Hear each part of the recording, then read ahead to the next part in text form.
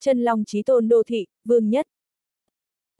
Tập 32 Ông ta chỉ là dựa theo yêu cầu của bãi đỗ xe dừng lại thì sắp bị đập xe sao? Khóe mắt bác tài đỏ lên, thậm chí có nước mắt chảy xuống. Ông ta không dám tức giận, cũng không dám nói, bởi vì đối phương là cậu chủ của vương tộc Yên Đô. Nhìn một màn này, trong mắt Lý khinh Hồng cũng dấy lên một chút tức giận. Vừa muốn lên tiếng của trách, Vương Nhất lại lắc đầu, em và Nhã Mi đi vào trong vương tộc Long Thị trước đi, anh giải quyết là được. Lý khinh Hồng liếc nhìn Khương Cẩn, trong mắt có sự lo lắng, hôm nay là ngày vui của Long Thị, anh đừng làm quá. Lý khinh Hồng không lo lắng Khương Cẩn sẽ bất lợi cho Vương Nhất, ngược lại, cô lo lắng Vương Nhất sẽ làm gì Khương Cẩn. Vương Nhất mỉm cười, yên tâm, anh có chừng mực. Sau khi xác nhận lại, Lý khinh Hồng và Khương Nhã Mi mới rời khỏi bãi đỗ xe. Lúc này chỉ có một mình Vương Nhất, ánh mắt của anh lạnh dần. Có lẽ là anh trước kia cũng là người bình thường giống bác tài này, không nhìn quen nhất những cậu chủ nhà giàu ức hiếp một dân thường tay không tất sắc như này. Chỉ là cướp chỗ đỗ xe của cậu mà thôi, tới mức ép người vậy sao? Với lại, là chính cậu không biết đõ xe, không đỗ vào được chỗ này, trách ai được. Giọng nói lạnh lùng truyền tới, Vương Nhất đưa tay ra, tóm lấy cổ tay của một vệ sĩ. Keng! Chiếc cờ lê trong tay anh ta rơi xuống đất, đập vào MU u bàn chân, đau tới mức anh ta gầm lên. Bãi đỗ xe yên lặng trong nháy mắt, con người của Khương Cẩn trợn tròn. Anh, anh nói tôi cái gì? Anh ta nghỉ ngờ tai của mình nghe nhầm. Kỹ thuật đỗ xe của anh ta không tốt, nhưng cũng không ai dám nói ra ở trước mặt anh tan vương nhất mặt không cảm xúc lắp lại một lần. Tôi nói cậu không biết đỗ xe thì cho cậu thêm một tiếng, cậu cũng không đỗ vào chỗ này. Ôi trời! Quát con, cậu chết chắc rồi. Vậy mà dám xem thường cậu Khương. Cậu còn dám ra tay. Vương Nhất vừa dứt lời, các vệ sĩ của Khương Cẩn đều ngây ngốc, ai nấy đều mở miệng mắng. Còn Khương Cẩn, càng tức tới xanh mặt. Còn chưa có ai dám nói anh ta đỗ xe không tốt, đây là đang vả mặt anh ta. Bác Tài cũng bị dọa cho tái nhợt mặt mày hơn, ông ta kéo Vương Nhất nói, cậu bạn, cậu đừng chọc cậu Khương tức giận, chúng ta không chọc nổi đâu. Lúc này Khương Cẩn cũng phản ứng lại, hắn học nhìn Vương Nhất, thằng nhãi, hôm nay anh đừng hòng đi ra khỏi đây một cách hoàn chỉnh. Cho dù nơi này là địa bàn của Long Thị, anh ta cũng phải khiến Vương Nhất trả giá đất. Vương Nhất không để tâm, nhìn sang bác Tài, cười nói, bác Tài, bây giờ bác mau rời khỏi đây đi, chiếc xe này không thể bị đập. Đúng đúng đúng, nhưng cậu. Bác Tài lại trần trừ liếc nhìn Vương Nhất, vẻ mặt rất lo lắng. Vương Nhất mỉm cười không để tâm, không cần lo lắng cho tôi, đừng nói cậu ta chỉ là một cậu chủ bình thường của vương tộc, dù là nhân vật quan trọng của Khương Thị tới cũng không thể làm gì được tôi. Xòe tô lời này vừa dứt, Khương Cần lập tức nổi giận. Thằng nhãi, dám xem thường Khương Thị tôi, anh là đang tìm chết. Còn bác tài xế trực tiếp nhìn đưa luôn, ông A ngây ngốc nhìn Vương Nhất. Vương Nhất của lúc này, tuy vẻ ngoài rất bình thường, nhưng lại bất giác cho người A một loại uy áp của cường giả. Chỉ riêng loại khí phách đó thì là thứ Khương Cần không thể so sánh. Lẽ nào cậu ta thật sự tiếp được một nhân vật lớn sao? Chỉ thấy Vương Nhất mỉm cười hờ hững, bác Tài, bác là một người tốt, nếu không phải vì để chúng tôi bớt phải đi bộ vài bước, cũng sẽ không chọc phải người ta, chỉ dựa vào điều này, tôi sẽ không trơ mắt nhìn bác bị ức hiếp. Bác Tài sau khi ngây ngốc xong thì có vẻ mặt hết sức cảm động. Cảm ơn cậu, vậy, tôi đi trước. Bác Tài hiểu, ông ta chỉ là một người bình thường, ở lại đây sẽ chỉ thêm rắc rối, sau khi cảm ơn xong thì lên xe chuồn mất. Mẹ kiếp, đứng lại. Khương Cần không khỏi tức giận chửi một tiếng, nhưng chỉ có thể trơ mắt nhìn chiếc taxi đi xa. Quay đầu lại, ánh mắt Khương Cần nhìn sang Vương Nhất tràn ngập hung tàn. Thăng nhãi, nếu anh muốn làm chim đầu đàn, vậy được, hôm nay anh không tàn phế vào bệnh viện, chữ Khương của tôi sẽ viết ngược. Vương Nhất lắc đầu cười, lẽ nào tôi nói sai sao, nếu cậu có thể lùi chiếc xe này vào thì tôi xin lỗi cậu, như thế nào? Khương Cẩn bồng nghẹn, làm sao nghe không ra Vương Nhất đang chế nhạo anh một A. Chỗ để xe bé như này, cho anh ta đồ một ngày cũng không đỗ vào được. Nụ cười của Vương Nhất rất bình thản, nếu không có kỹ thuật đỗ xe thì đừng lái xe thể thao như này, đi bộ còn có thể tăng cường sức khỏe tránh bệnh tật, như vậy không tốt sao? Ông đây lái xe gì, anh quản được chắc. Mũi của Khương Cẩn cũng tức tới lệch cả đi, nhưng sau đó, anh ta lại bình tĩnh lại, nheo mắt đánh giá Vương Nhất, hỏi, thằng nhãi, anh tên gì? Tôi nhớ người cùng lên xe xuống xe còn có hai người phụ nữ, bọn họ đâu? Vừa rồi sự chú ý của Khương gần tập trung toàn bộ vào người bác tài, không có nhìn thấy bóng dáng của Lý Kinh Hồng và Khương Nhã Mi. Bọn họ. Vương Nhất đang muốn trả lời, Khương Cần lại nghĩ ra cái gì đó, ánh mắt lập tức trở nên khinh thường. Tôi hiểu rồi, thằng nhãi, anh và hai mỹ nữ vừa rồi là đi ghép xe tới đây nhỉ? Anh cũng là tới tham gia lễ trưởng thành của tiểu công chúa Long Thị. Đi ghép xe. Vương Nhất xứng người, sau đó lắc đầu bất lực. Bỏ đi. Khương Cần lập tức rơi vào trầm mặc. Nơi này là Long Thị, người có thể tới tham gia lễ trưởng thành của Long Thị không giàu thì quý, đắc tội với một nhân vật như này, không phải một lựa chọn thông minh. Vương Nhất cũng kinh ngạc nhìn Khương Cẩn, một giây trước còn tức giận đùng đùng, không ngờ ngay sau đó thì bình ổn lửa giận trong lòng, rõ ràng là suy nghĩ tới quan hệ lợi hại. Do đó có thể thấy, chỉ cần là người của vương tộc Yên Đô, bất luận địa vị trong tộc cao hay thấp thì đều có tâm cơ nhất định. Khương Cẩn làm một thế tay, vệ sĩ ở đằng sau lập tức dừng bước, nhưng vẫn nhìn Vương Nhất như hổ rình mồi. Vương Nhất cũng nheo mắt lại, đợi Khương Cẩn đáp lại. Chỉ thấy anh ta châm mặc một lúc rồi bỗng nhiên nhìn Vương Nhất, nói, nếu anh đã tới tham gia lễ trưởng thành của tiểu công chúa của Long Thị, nhất định có thiệp mời của Long Thị, lấy ra cho tôi xem thử. Hai mắt Vương Nhất hơi rét lạnh. Anh, Lý Kinh Hồng và Khương Nhã mì vốn là tới gặp lão ẩn chủ, vừa khéo là lễ trưởng thành 18 của Long Thi Thi, căn bản không có thiệp mời. Thấy Vương Nhất không nói chuyện thì Khương Cần nhận định Vương Nhất không có thiệp mời, bỗng chốc, khóe miệng cũng hiện nụ cười lạnh. Không có thiệp mời cũng dám tới Long Thị, lá gan cũng quá lớn rồi. Khương Cần định mượn tay của Long Thị dạy dỗ Vương Nhất thật nặng. Vương Nhất quả thật đã lo lắng. Nhưng không phải là lo cho bản thân, mà là lo cho Lý Kinh Hồng và Khương Nhã Mi. Bọn họ không có thiệp mời, nếu bị bắt. Tít tít tít. Lúc này, trong trang viên của Long Thị truyền tới tiếng cảnh báo. Cả trang viên đều đang thông báo một chuỗi cảnh báo. Cảnh báo, cảnh báo, phát hiện hai người xâm nhập tự ý xông vào. Các bên cảnh giới, phát hiện hai người xâm nhập. Các bên cảnh giới, phát hiện hai người xâm nhập. Tiếng cảnh báo vang lên, lặp lại lời này hết lần này tới gần khác.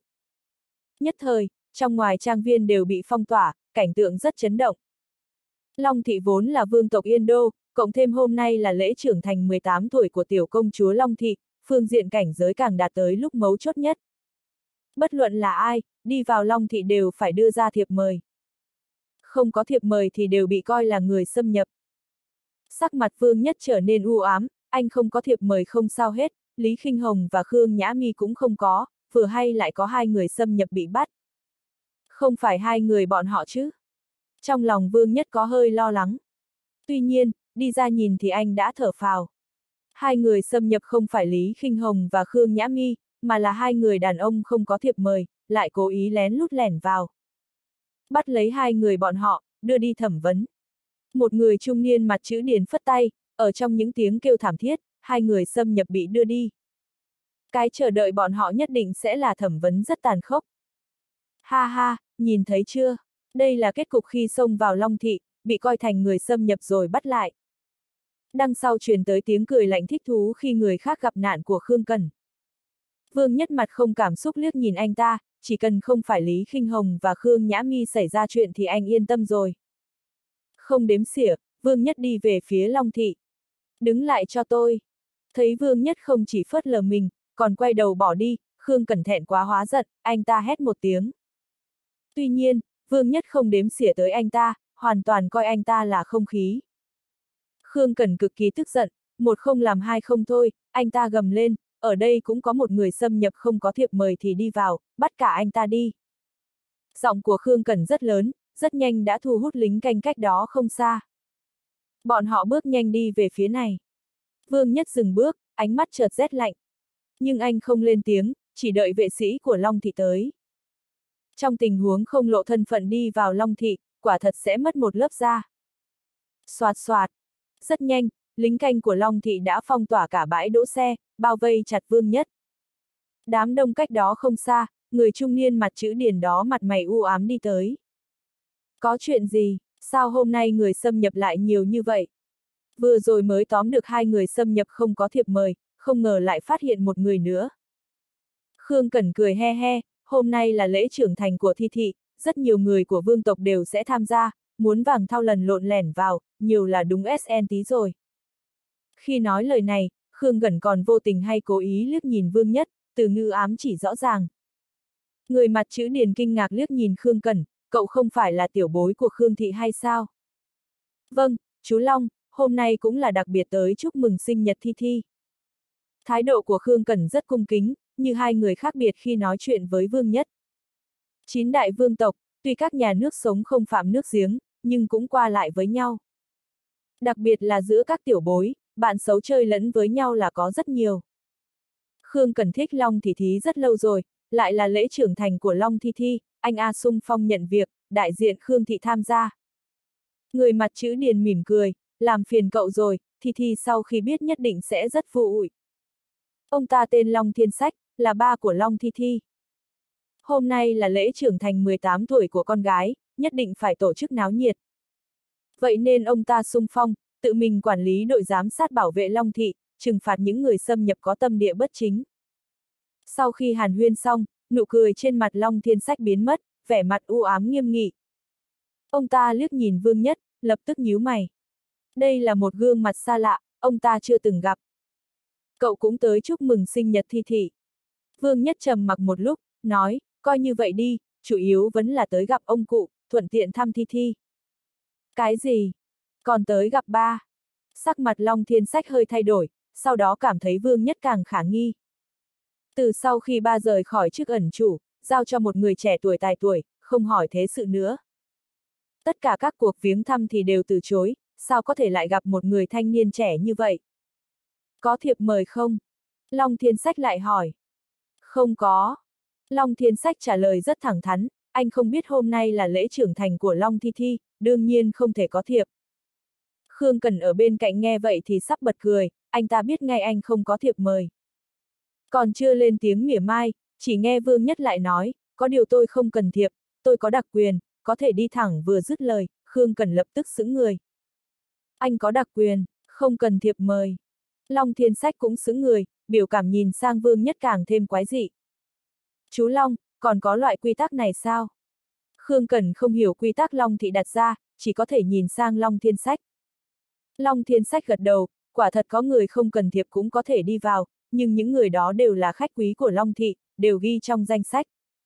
Khương Cần nghe vậy thì ngộ ra, thần sắc trở nên khinh thường, anh ta là khách quý cái xít chú Long chú thấy anh ta giống khách quý không? Long Thiên Sách lại đánh giá Vương Nhất vài lần, ăn mặc bình thường, đừng nói khách quý, khác xa người giàu. Chắc chắn là người xâm nhập muốn lén lẻn vào rồi. Không biết anh ta từ đâu nghe được thông tin này, vậy mà nói không cần thiệp mời cũng có thể đi vào. Khương gần thật sự muốn cười chết rồi. Long Thiên Sách càng trực tiếp nói, tôi thấy cậu ta căn bản không biết chuyện nội bộ Long thì có danh sách của người không cần thiệp mời cũng có thể đi vào, chỉ là đánh lừa tức thời.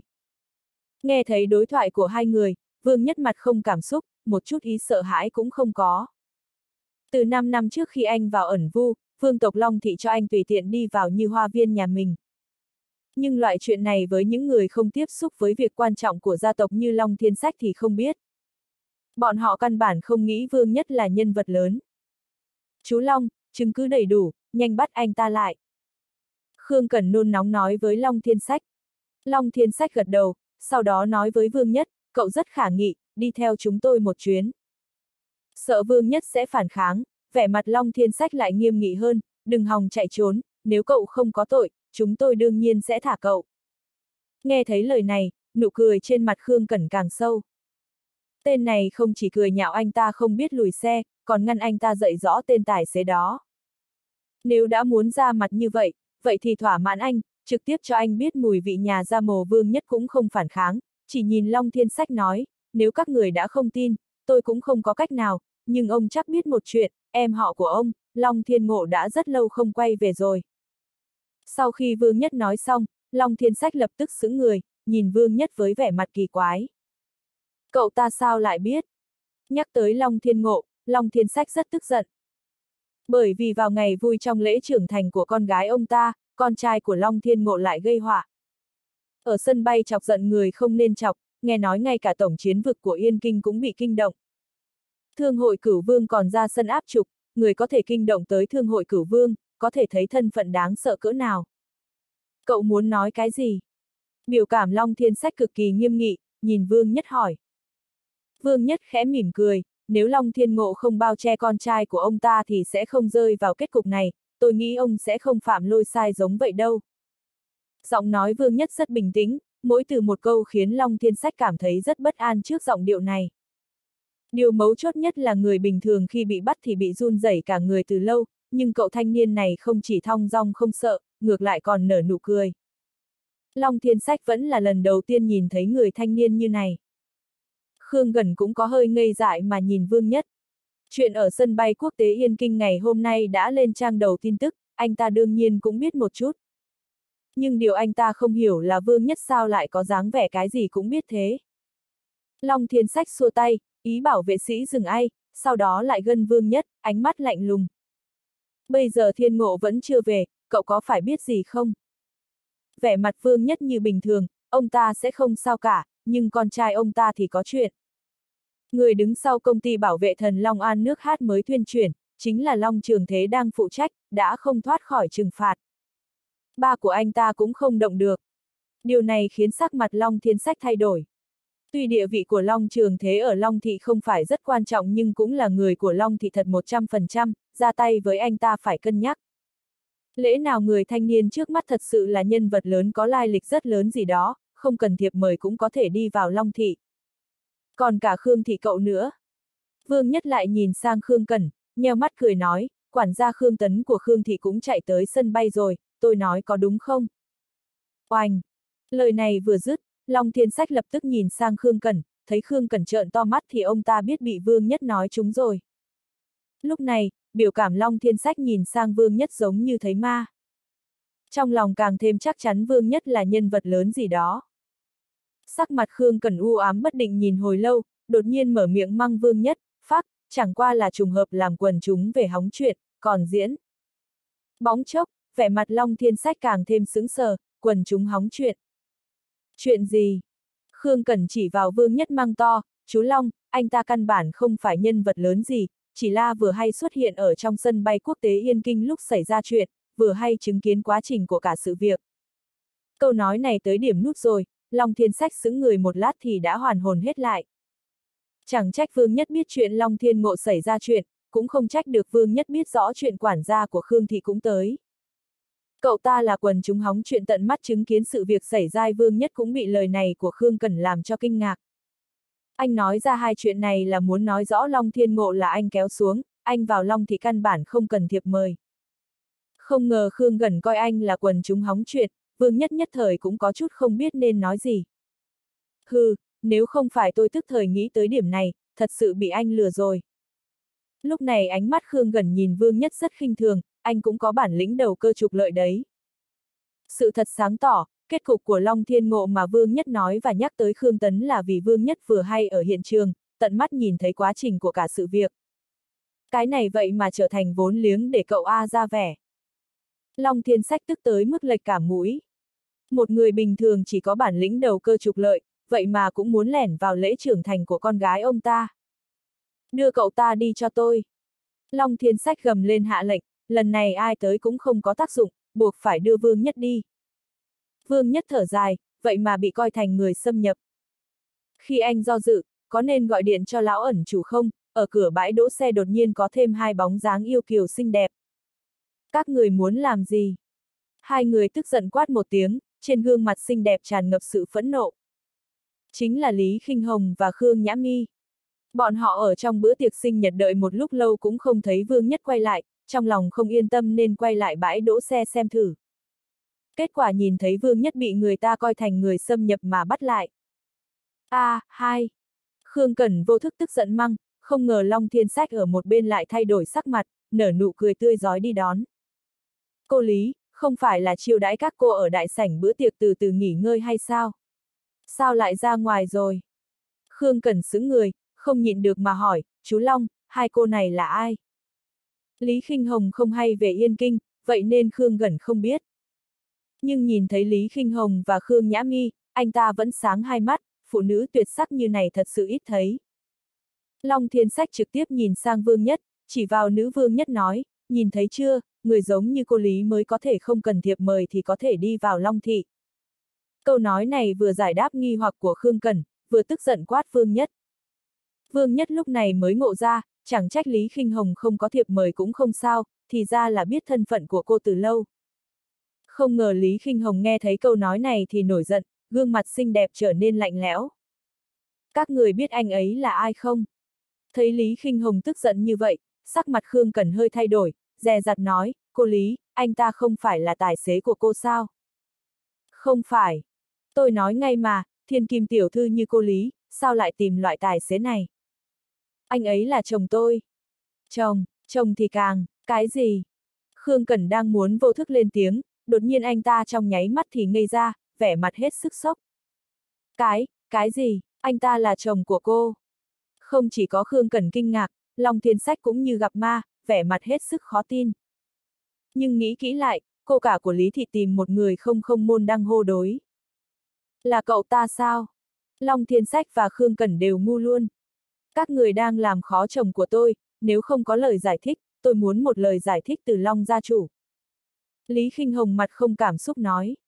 Long Thiên Sách liếc nhìn Vương Nhất, sau đó nghiêm mặt nói, cô Lý, nếu cậu ta là chồng của cô, vậy tôi không truy cứu nữa, nhưng cậu ta tuyệt đối không thể vào lễ trưởng thành của con gái tôi.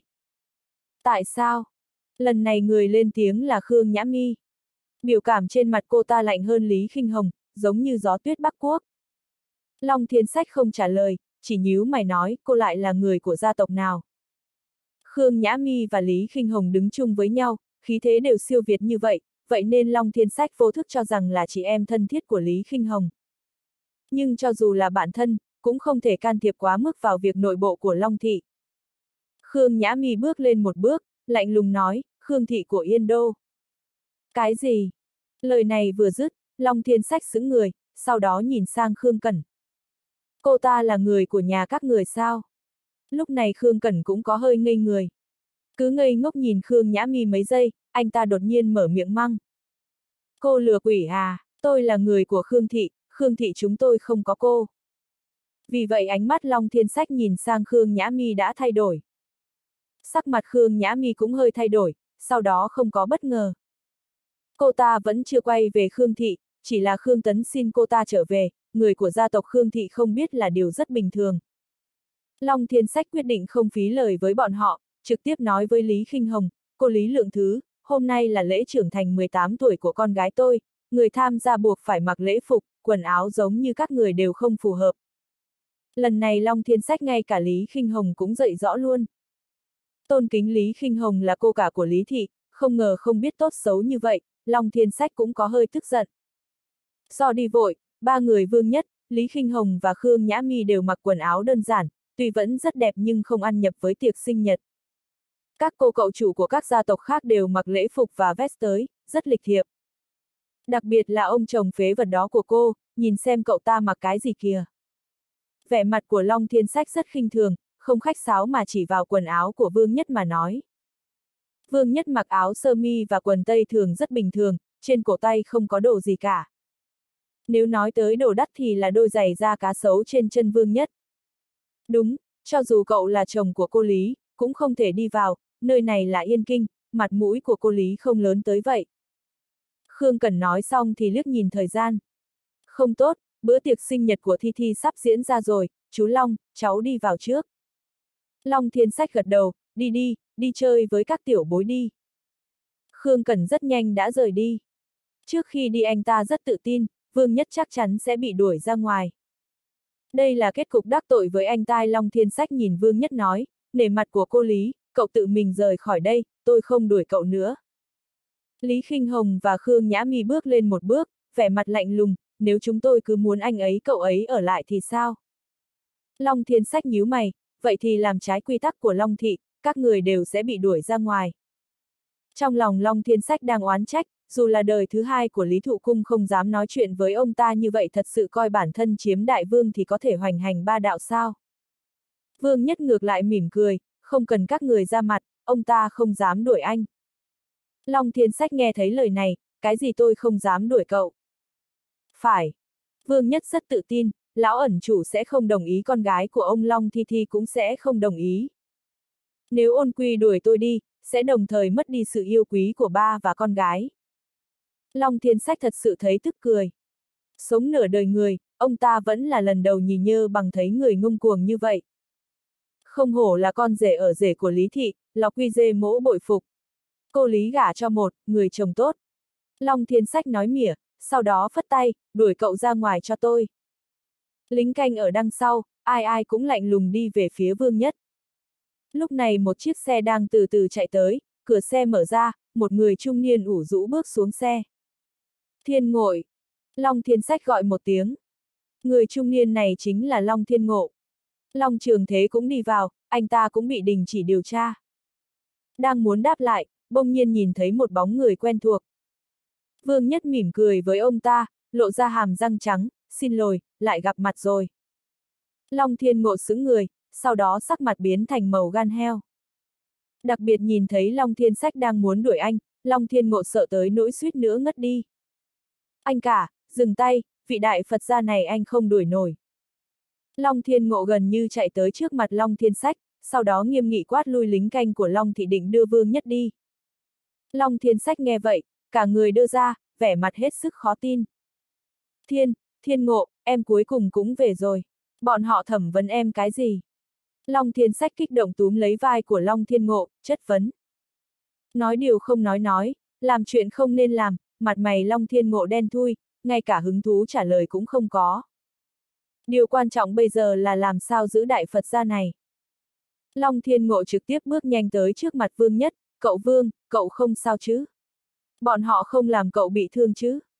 Vương nhất xua tay, không sao, chỉ là tôi không ngờ ông có thể về nhanh như vậy, muộn thêm bước nữa thì tôi sẽ bị ném ra ngoài rồi. Vừa nghe thấy lời này, Long Thiên Ngộ bị dọa suýt nữa không dám thở mạnh, chỉ đứng ở bên cạnh dáng vẻ cúi đầu khom lưng, vẻ mặt căng thẳng đó, tất cả mọi người nhìn thì đều nhìn nhau. Thiên Ngộ, em làm gì vậy? Chúng ta phải ném cậu ta ra ngoài, em tại sao lại cản? Long Thiên Sách hoàn hồn lại, biểu cảm trên mặt có hơi tức giận. Long Thiên Ngộ vừa muốn nói rõ đầu đuôi sự việc ở sân bay thì Vương Nhất lạnh nhạt liếc qua ông ta. Long Thiên Ngộ lập tức lại im miệng, chỉ nói, mau bảo người của anh lui xuống, để cậu Vương đi vào. Đi vào, em từ bao giờ bắt đầu nói chuyện giúp cậu ta thế? Cậu ta ngay cả thiệp mời cũng không có. Long Thiên Ngộ cũng lười giải thích, trực tiếp nói, em dùng nhân cách của em bảo đảm, cậu ấy không cần thiệp mời, may mãn cho anh không ra tay với cậu Vương, nếu không gia tộc cũng không bảo vệ được An Hy. Những lời này vừa dứt, Long Thiên Sách và những lính canh của Long Thị ở đằng sau đều kinh ngạc. Tuy Long Thiên Ngộ ở Long Thị không tính là nhân vật chủ chốt, nhưng cũng không phải nhân vật ngoài rìa, có khi nào tôn sùng một người như vậy chứ? Lúc này Vương Nhất đi lên, mỉm cười nói, mọi người đã nói vậy rồi, ông còn muốn ném tôi sao? Hay là ông thật sự nhìn không rõ cục diện? Câu nói này khiến sắc mặt Long Thiên Sách thay đổi. Ngay cả em họ của ông ta, Long Thiên Ngộ cũng gắng sức bảo vệ người thanh niên này, cậu ta thật sự chỉ đơn giản là con rể ở rể của Lý Thị thôi sao? Được thôi. Sau một phen trầm mặc, Long Thiên Sách chỉ có thể phất tay, ra lệnh cho thủ hạ rời đi. Cậu Vương, mời. Long Thiên Ngộ rất cung kính làm động tác mời Vương Nhất. Vương Nhất lạnh nhạt gật đầu, ở trước mặt Long Thiên Sách đi vào trang viên của vương tộc Long Thị. Long Thiên Sách đứng tại chỗ, sắc mặt lúc đỏ lúc trắng nhìn ba người vương nhất, Lý khinh Hồng đi xa. Ông ta thật sự có hơi khó tin, một con rể ở rể không có địa vị của Lý Thị, trong tình huống không có thiệp mời, vậy mà đường hoàng đi vào đại viện của Long Thị. Tên này rốt cuộc là ai? Tự lẩm bẩm một tiếng, Long Thiên Sách cũng rất nhanh đi vào trong trang viên. Lúc này, bữa tiệc sinh nhật cho lễ trưởng thành của tiểu công chúa Long Thị sắp bắt đầu, các cô cậu chủ tới từ các đại gia tộc top 3 top 5 trò nâng ly tỏ ý với nhau, nói chuyện trên trời dưới đất. Vào lúc này, hiện trường truyền tới tiếng náo động. Mọi người quay qua nhìn, thấy cách đó không xa có bốn người đang bước vào. Dưới sự đích thân dẫn dắt của Long Thiên Ngộ, Vương Nhất và Lý Kinh Hồng, Khương Nhã Mi đi vào trong đại viện của Long Thị. Bên tay trái là Lý Kinh Hồng mặc váy dài, mà bên phải là Lý Kinh Hồng mặc đồ đen, hai người phụ nữ đều lạnh lùng cao ngạo, khí thế mạnh mẽ, lại đồng thời tập trung ở bên cạnh một người đàn ông. Điều khiến ánh mắt của không ít người ở đây đều không nhịn được mà tập trung ở trên người vương nhất ở trung tâm.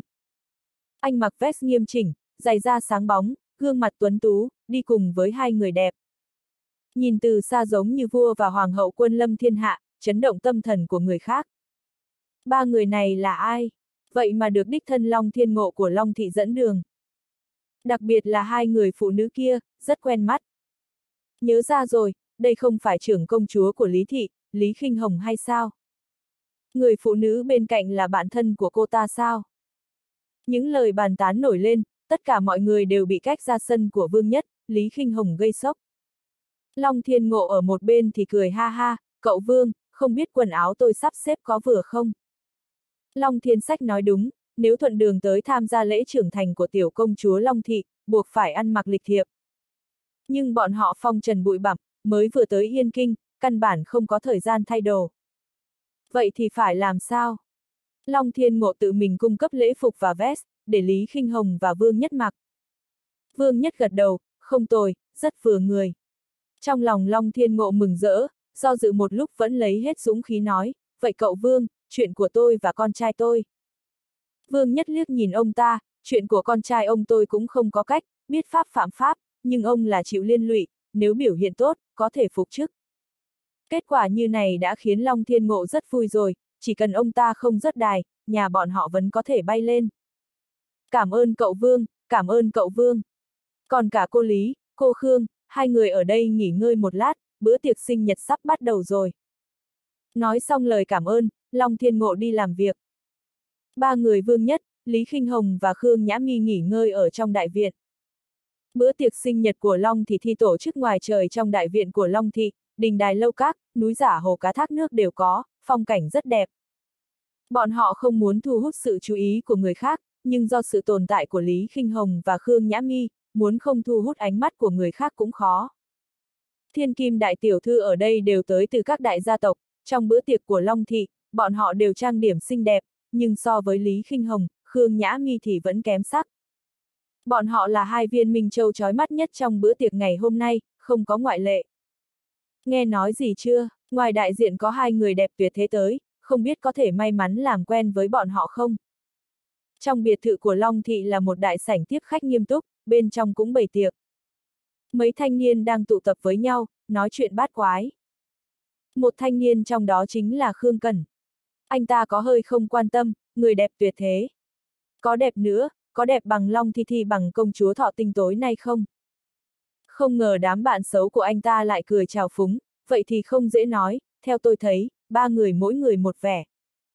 Đúng, tôi vừa ra ngoài nhìn qua, quả thật rất đẹp, có điều hình như đứng chung với một người đàn ông, mặt mũi của người đàn ông đó rất lạ, chưa từng gặp trong giới. Giới thượng lưu ở Yên Kinh còn là đỉnh cấp trong nước, đều có đoàn thể nhỏ của mình, cúi đầu không gặp cúi đầu gặp. Đam Mỹ Hài. Đặc biệt là vương tộc Yên Đô, rất ít khi có người không biết. Câu nói này đã hơi khiến Khương gần lay động. Vậy chắc chắn phải ra ngoài xem thử. Vẻ đẹp không kém Long Thi Thi, vậy đã tính là cực phẩm rồi. Ôm tâm trạng kích động, Khương Cần và một đám cậu chủ vội vàng đi ra ngoài xem.